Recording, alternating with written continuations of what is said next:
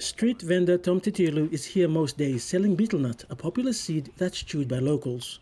Last night he felt a huge blast. I feel frightening a little bit because it sound loud and I explode. So me, me thinks, oh anything might be happen whereby cause him uh, harm to anyone. Just down the road, in this upmarket part of Honiara, Australian Trent Lee and British national Luke Atkinson were killed after a bomb exploded in an apartment they used as both their residence and office. Police forensic and explosives team today combed the scene looking for clues.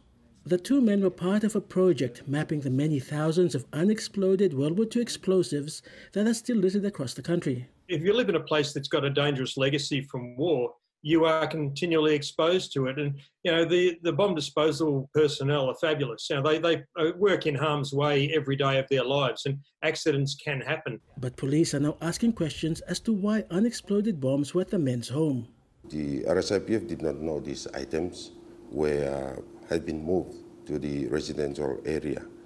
Uh, if we have known that, we may have the, uh, request them to move those items to uh, our safe store site. The organization the men worked for has described the deaths as a tragic accident and says it's cooperating with police. Early in the morning, I'm doing chewing bit on that low market I'm say breakfast. Then yeah. before I'm go down walk Eh, ma mi vala everyone not neighbors around lo here mi vala fright no se what ne ma happen no se no. Only a month ago, Trent Lee posted this photo to Facebook with a comment, one bump and it's all over. Here in Honiara, investigators have still plenty of unanswered questions. The key one being why were explosives stored in a residential area? The answer to that question appears to be some way off as investigations continue into a third day.